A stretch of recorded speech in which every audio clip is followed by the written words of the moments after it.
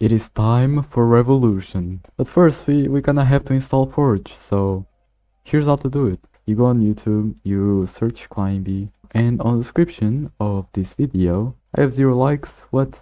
Smash the like button guys, please. Zero likes is kinda depressing.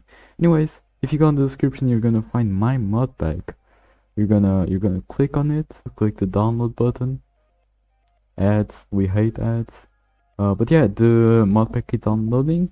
Uh, we're gonna search for Minecraft 1.8.9. We're gonna go here. Any of them, just click on the installer in any of the versions. It's the same thing. It's gonna open this ad focus ad, and after five seconds, you're gonna see on the top right there that there is gonna be a skip button. You're gonna press it to skip all the ads, and boom, the Forge thing is installing.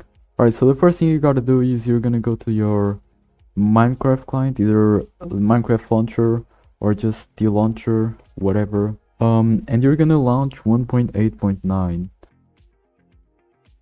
Alright, if you've already launched Minecraft 1.8.9 before, you can just close it, it's fine. So you're gonna go to your downloads folder, uh, and you're gonna click on forgeinstaller.jar uh, and you're gonna click OK. Alright, so what this does, it creates the Forge uh, client on the on your computer.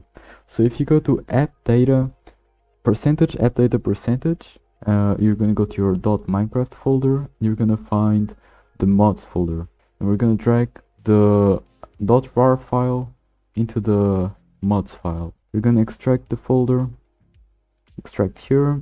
There's gonna be all the mods. You can delete the rar. If you're on the launcher though, there is this thing, there is this button that will take you to the exact same place. And there it is, the Forge version, and you just enter the game. Alright, and if you see this uh, loading image with now the anvil and stuff, that means you did everything correctly and your Minecraft should open without issues. And boom, perfect. You have installed Minecraft modded forge uh, whatever yay you can now do stuff. Well now with your new mods you can do slash patcher to customize all your all your patcher settings.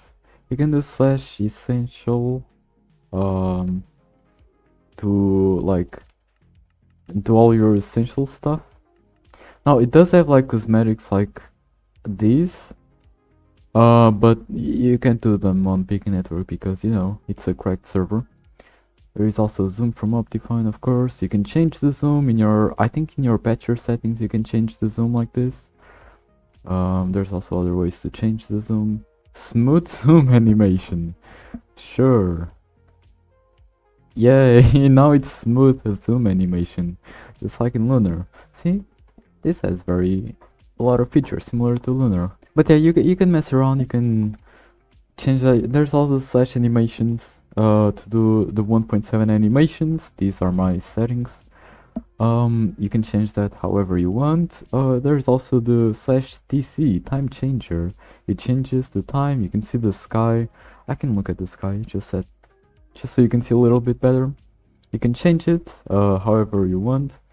And there is also slash potion effects or potion HUD I mistyped it. Slash potion HUD, you can like change the effects that you want enabled, disabled, if you want it on Roman numerals, if you want to change its size, uh, you can change a lot of stuff here. Uh, anyways, that's my mod pack. Um, I hope you enjoyed it. If you did, um, download it. Be careful about what you install and execute. And yeah, have a nice day.